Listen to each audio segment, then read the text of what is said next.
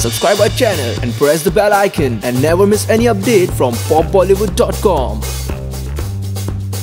Film Zero Shahrukh Khan की बहुत ही ज़्यादा अवेटेड फ़िल्म दिखाई पड़ रही है। आनंद एल राय ने जो ये फ़िल्म डायरेक्ट करी है, एक बहुत ही ज़्यादा अलग कॉन्सेप्ट पे बनी हुई है। इसमें आप देखेंगे कटरीना कैफ, अनुष्का शर्मा और शाहरुख खान को एक बार फिर साथ में। इस फ़िल्म का ट्रेलर जब से रिलीज़ हुआ है, ये फ़िल्म काफ़ी कंट्रोवर्सी में भी रही है और काफ़ी लोग इस बारे में बात भी कर रहे हैं। सोशल मीडिया पर भी ये फ़िल्म बहुत ही ज़्यादा ट्रेंड कर रही है। यहाँ तक के ट्विटर पे इस फ़िल्म के कैरेक्टर बउआ बुआ का एक पर्सनल अकाउंट भी है। ये फ़िल्म एक एक कर कर अपने गाने भी रिलीज़ कर रही है। इस फ़िल्म का गाना मेरे नाम तो बहुत ही ज़्यादा सराया गया है एक रोमांटिक गाने की तौर पे। वहीं पर इस फ़िल्म का दूसरा गाना इशक बाज भी बहुत ही ज़्यादा पसंद किया जा रहा है। और अब इस फ़िल्म का तीसरा गाना हुस्न परशम का टीजर बाहर आ चुका है। और जैसे ही टी सीरीज़ वालों ने इसका टीजर अपलोड कर दिया था, वैसे ही इस गाने की व्यूज़ बहुत ही ज़्यादा बढ़ने भी लग गए। इस गाने की टीजर को बहुत बहुत ही ज़्यादा पसंद किया जा रहा है और आप देख सकते हैं, कटरीना कैफ का कैरेक्टर इस गाने में इंट्रोड्यूस किया जा रहा है। उनके कैरेक्टर का नाम है बबीता और कटरीना कैफ बहुत ही ज़्यादा हॉट और सिजलिंग भी दिखाई दे रही है। हम इस गाने के टीजर को देख के इतना तो समझ सकते हैं, इस गाने में मुख्य में होंगे कटरीना कैफ और शाहरुख खान। और हम कटरीना कैफ को इस गाने में ठुमके लगाते हुए तो ज़रूर ही देखेंगे। इस गाने की टीजर ने फैंस के मन में खूब उत्साह जगा दिया है और साथ ही साथ लोग बहुत ही ज़्यादा बेसब्री से इंतज़ार कर रहे हैं इस गाने को बाहर आने के लिए। इसी के साथ पॉप बॉलीवुड इस गाने के टीजर को देता है पाँच में से 3.5 स्टार्स अब आप लोग हमें ये बताइए कि आप लोग कितने स्टार्स देते हैं और आप लोग कितने उत्साहित है इस गाने को देखने के लिए। कमेंट्स के ज़रिए हमें ज़रूर बताइएगा। इसी के साथ मैं तुषाबा आप लोगों से अलविदा लेती हूँ। बॉलीवुड की ऐसी अपडेट्स के लिए सब्सक्राइब करिए पॉप बॉलीवुड को।